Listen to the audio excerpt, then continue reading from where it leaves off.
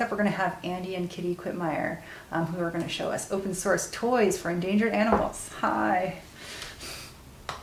You're muted. Hello, no can you hear us okay? Cool. Um, I'm going to share a screen. Da, da, da, we got this going on. Can you see a sun bear licking some tubes and stuff? I'm going to assume yes. Um, I haven't seen any chats that say we can't hear you. Okay, perfect. Yes. Um, so hey, this is uh, I'm Andy. I'm Kitty. Yeah, there's uh, more visual references if you don't know uh, who we are, because uh, there's lots of animals you might get us confused with. That's Lupe the agouti, and this is Valencia the tapir. Um, so we have a special guest star, Kitty's here uh, joining us today, who will be able to answer some questions uh, at the end because uh, she's my partner uh, and we both work at Dynalab and we've both been working with these really cool animals and it's cool she gets to uh, be here for this talk. We're both a little bit sleepy because we just came from, we're on a layover in Atlanta from a big scouting trip to Sri Lanka. Um, and so we're kind of out of it, but jet yeah, jet lagged, but it'll be good.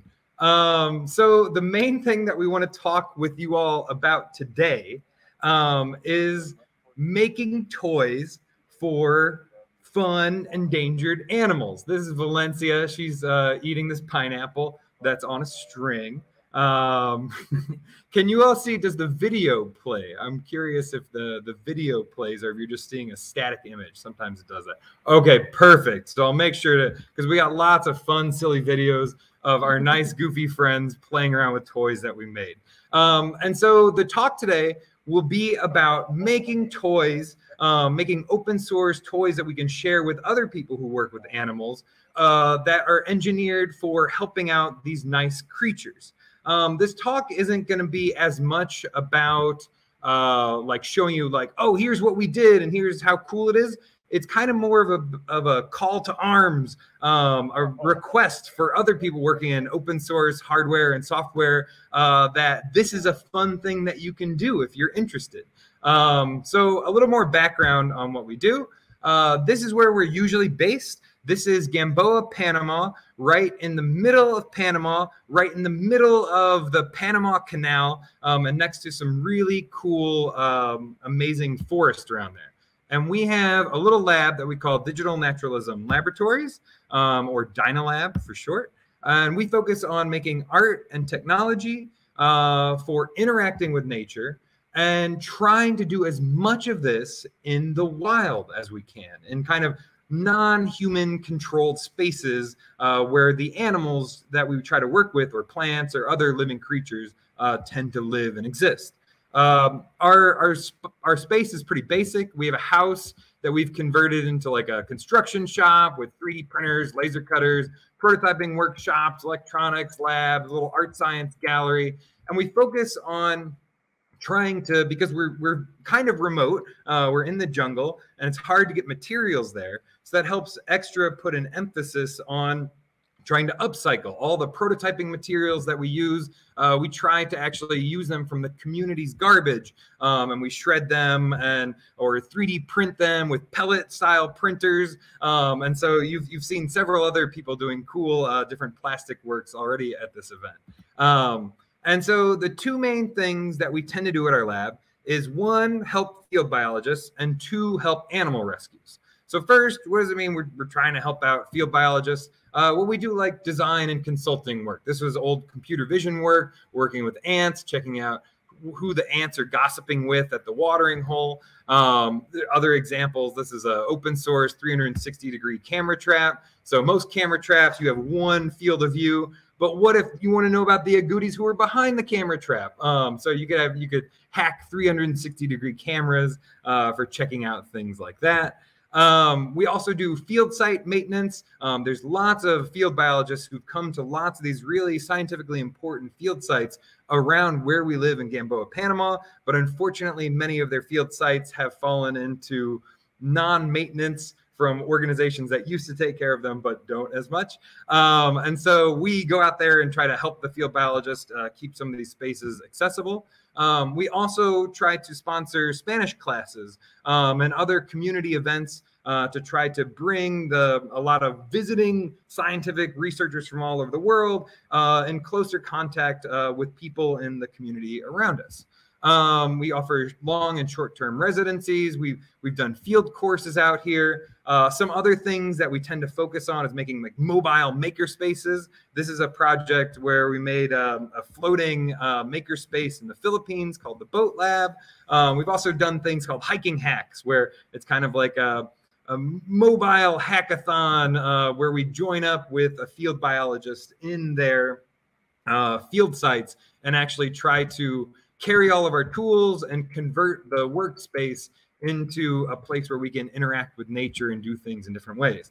And perhaps one of the biggest things that we do is uh, is Dynacon, the Digital Naturalism Conference, uh, and this is a big event uh, where we have over 100 people from all around the world. Who the goal is to have them living and working together um, in a semi-remote location uh, for an extended amount of time, usually like four to six weeks um, with the entire goal of figuring out new ways of interacting with nature. These can be high tech ways, these can be low tech ways, these can be fun uh, jungle robots that climb up trees. But one of the key components of it is that everything that everyone does is documented and shared and reviewed by our own community and then published freely and openly. So all the projects are all shared um, completely freely on our websites and stuff. And we've had a Dynacon in Thailand, a Dynacon in Panama, and I've been lucky enough that two of the other chairs of Dynacon this year are Lee and Sid, who are also running this event uh, right now. So that's super cool. Um, and so we're actually going to have one in Batticaloa, Sri Lanka in July. So that's actually what we just came back from doing. And so that's a little bit back about all the other stuff that we do at Dynalab and where we want to try to interact with things in nature, but we also do a little bit of interacting with things that aren't as much in nature for different reasons. So we tend to work with uh, this group called the APPC, uh, which is a really wonderful, nice um, uh, conservation organization. Uh, they rehab injured animals. Uh, the goal is to release all the animals after we rehabilitate them right back into the wild. Um, the organization's over 10 years old. It's in Gamboa. They've rehabbed thousands of sloths. Um, and we've released uh, generally about 95% of the animals.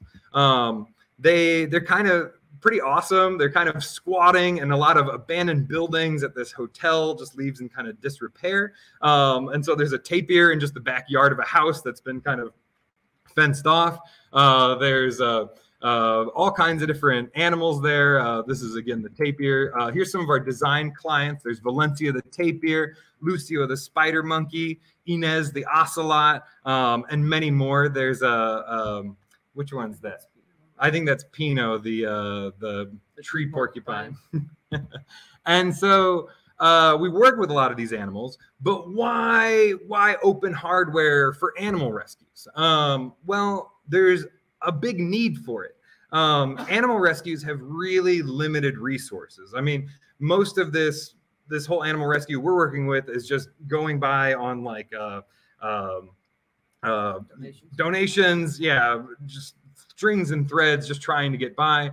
Um, and usually, the animal rescues are just trying to, uh, you know, they're they're prioritizing helping these animals. These animals will be horribly injured, or terrible things will happen to them.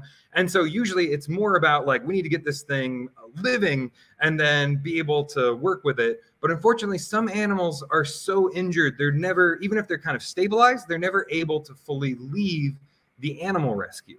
And so that means that uh, they have to stay there for a really long time. And unfortunately, enrichment, trying to keep them occupied while they're also stuck there potentially for the rest of their lives, um, is usually a last priority because everyone's so busy at the animal rescue. Um, the other thing too is everyone at animal rescues is generally non-experts. Um, when we first started working at this animal rescue, we didn't know anything about tapirs. We were not tapir experts who started working with the tapir. Um, we've had to like figure a lot of this stuff out by ourselves. And this is pretty much the same with most people who are working at animal rescues. Plus, there might be some people who are experts at something, but because you're not in charge of, you know, like maybe I'm really good at sloths, but now we have a, you know, 400 pound tapir we have to take care of. It's a little bit different. The other reasons the open hardware community should care about this is because it's fun. Um, you all, in general, if you're here, you like to build things and play with things and test them out. Um, and building things for a lot of these endangered animals, it can be kind of like you have a lot of freedom to play and experiment. You're not going to get judged uh, if it if it looks kind of funky. You might get judged a little bit. Um, when I made a one tapir toy, it looked very ugly, but the tapir loves it. um, there's lots of applications for high and low tech kind of things. I mean, you saw there was a pineapple hanging on a string. There's no Arduinos involved with that at all, uh, but uh, it's still an effective type of, of hardware that you can make and also share different ideas with other uh, people who want to build them. For instance, what type of string to wear? What are you building the base out of? What types of pineapples are you feeding to what types of animals? All this information can be documented and shared with other people. Um, it's also a good way to escape, you know, kind of anthropomorphism. Uh, you can take a break from thinking about how do things work for people and what do people want to do, and embrace the really weird challenge of like, well, what's interesting for a tapir um, versus, you know, me or versus a monkey or versus a uh, an ocelot. And so um, the final thing is it's a really badass challenge because there are a million ways everything can go wrong. You have to weatherproof things. You have to tapir proof things. Um, you have to make it. Uh, it's it's very very tricky. Um, so let's get into more specifics about designing uh, for captivity and enrichment. Um, so here's an example of some otters playing a keyboard. Um, let's take a step back and just talk about captivity in general. There's many reasons that us humans are keeping non-human living creatures uh, trapped somewhere, um, potentially against their will. One reason is we want to eat them. We're like, there's that chicken. I'm gonna put it in a cage until it's big, and then I eat it. Other things are can be for entertainment. Oh, we caught this whale or porpoise, and we want to make it do backflips, and then I'll clap, and we make a bunch of money off of it. Um, but there's there's other reasons too. Um, for instance, scientists. A lot of scientists. This is our, our one of our residents at Dynalab right now, Jorge, uh, who studies uh, birds in Panama, and he's caught an aracari that they uh, put tags on and monitor their movements in order to help track them for conservation and other scientific data. And then the the final reason that you might uh, have animals in captivity is because uh, they are they might get hurt or they're already hurt um, or you're helping protect them. Uh, for instance, we have Lucio the spider monkey. Um, he was uh, somebody's pet, right? Uh, we minutes left. Yeah. Perfect. Um, and so, like Lucio, for instance, uh, was somebody's pet and chained to like a fence for like a tree. Yeah, a tree for like five or ten years. Um, it was super sad. And then, but now we've rescued him. Um, Lucio is is healthy, and a lot of people ask us why not just release Lucio back in the wild. Well, the problem is is that Lucio is is a spider monkey, um, and they work in large social groups. And if they don't have these social groups, and we just toss them into the forest, um, chances are other primates will probably kill him. And so it's very sad, but Lucio has to kind of remain with us uh, indefinitely. And so part of our job can be to try to make their welfare better.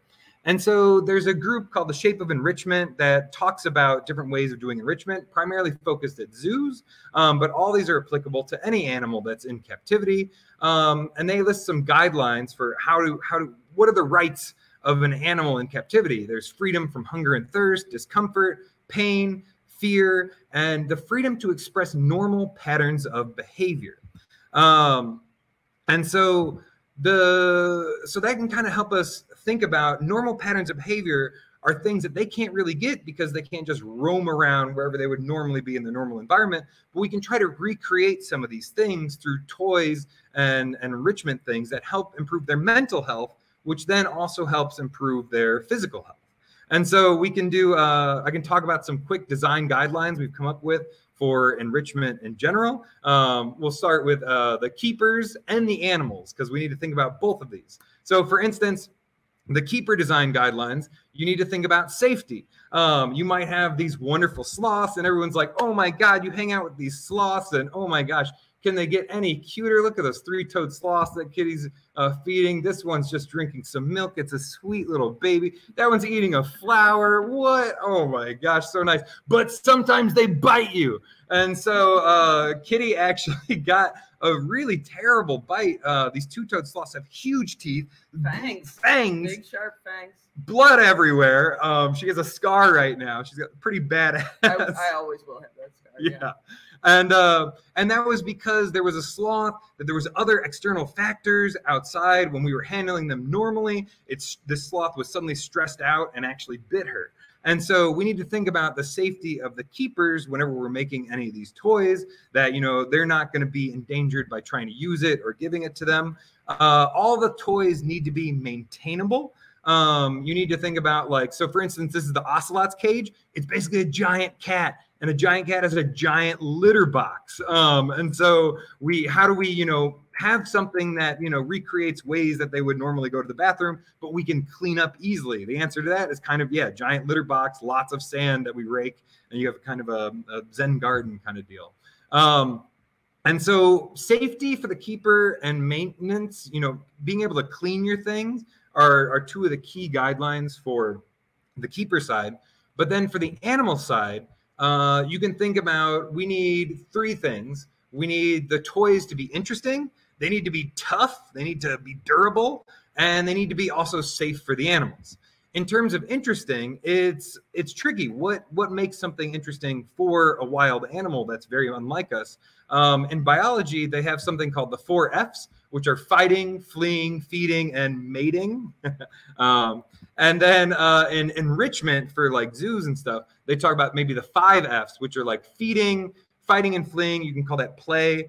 Friends, which is like social interaction, figuring things out, uh, or also the final F, mating again. And so examples of this are feeding is one of the most common ones you'll see in zoos and animal rescues. You give the, the animal something they like and they munch it. And, um, you know, this is a, a triggerfish uh, hitting something.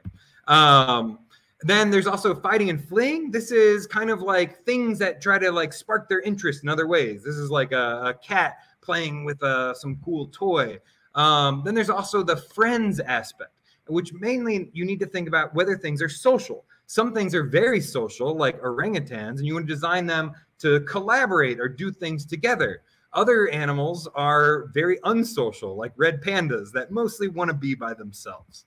Um, you can even have companion animals as enrichment. So, for instance, Valencia the tapir used to be very grumpy when she was first at the animal rescue and would smash out of her pen all the time and go roaming around Gamboa. But then they found her a best friend named Lupe, who's an agouti, and they fell in love. And now they both kind of like walk around and they live together and they have a nice time together. So it's not even necessarily a technology uh, per se, but you know, knowing about what kind of things you might be able to pair up with um, can be surprising. And then, of course, there's mating. You can learn about that if you go to Wikipedia's panda pornography um, webpage. But uh, I'll go through this kind of quickly. But when you're designing these things, you can think about what are the senses that they're using. Um, what types of habitats uh, are they using? Are you trying to recreate the habitat or are you trying to give a really novel stimuli? That's like nothing they've seen before, but the animal still wants to engage with and interact with. Um, and then you can also think about different types of puzzles. Um, this was one that we actually built with the Singapore Zoo and some of my awesome students when I was a professor. Um, this was a, a, puzzle for sun bears. It would use little motors to squirt honey in different tubes and capacitive touch sensors to sense the tongue of the sun bear uh, so that it would always change where the, the honey was squirting. So it would always have to keep looking around. You also need to think about toughness um, because you can build a really nice little tippy seesaw thing for your tapir that's bolted into the ground with big sticks of rebar. And you'll come and someday she'll just totally knock it over for no reason after it's been working for four months. Um, she'll also decide she wants to chew through uh, some big part of it for no reason, um, even though she leaves the other parts alone. So you have to learn a lot about these things. Uh, you also need to think about safety if the animal can break something and accidentally eat it, um, it can be very bad for them. So, like, we use a lot of things that are super durable, like old tires um, or recycled HDPE. Um, what can you do? I'm going to wrap up real quick. Uh, if you make an idea, let us know and we can try to help test it out. You can also volunteer for a local animal rescue and help make fun toys. And you can document and share. We have all of our documentation at richmond.tech. And that's us. Yeah. It's incredible. It's so amazingly cute and valuable. Um, there's a ton of people who just want to know more about all the animals that you shared because, you know, you don't run into them all the time, unlike you. Um, so maybe you can hop into Discord as you have been earlier. Thank you, Kitty. Thank you, Andy.